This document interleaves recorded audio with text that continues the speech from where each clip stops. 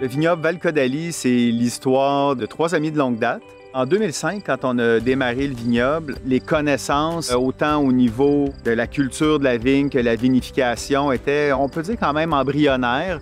Tout était à construire dans l'industrie. À force de travail et de vin de grande qualité, aujourd'hui, on est fiers de ce qu'on a pu bâtir. Je m'appelle Guillaume Leroux, copropriétaire vigneron au vignoble Val Caudalie à Donham.